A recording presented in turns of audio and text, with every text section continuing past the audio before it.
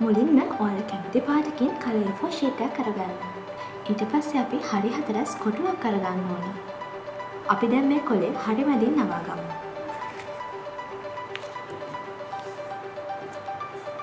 ඊට පස්සේ මේ කොලේ දිග අරගෙන මේ කොටස් දෙක නැවතත් මේ ආකාරයෙන් නවා ගන්නවා. මේ පැත්තත් අපි ඒ ආකාරයෙන්ම නවා ගන්නවා. ඊට පස්සේ අපි මේ කොටස් දෙකම නැවතත් හරි මැදින් නවා ගන්නවා.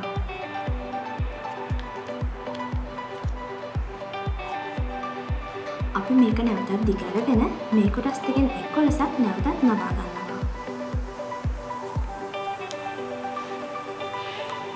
නවාගත්ත කොටස නැවතත් දිග අරගෙන මේ කොටස් දෙක මේ ආකාරයට නවා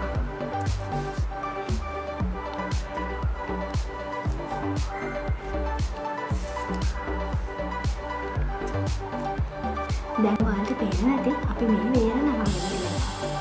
ඊට පස්සේ අපි මේ කොටස අනිත් පැත්ත හරවලා මේ කොටස් දෙක ත්‍රිකෝණාකාර ආකාරයෙන් නවා ගන්නවා.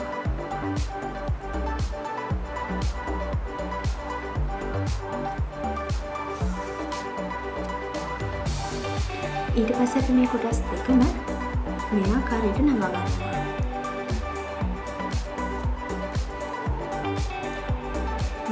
ගන්නවා. මේ කොටසත් අපි මේ විදිහට නවා ගන්නවා.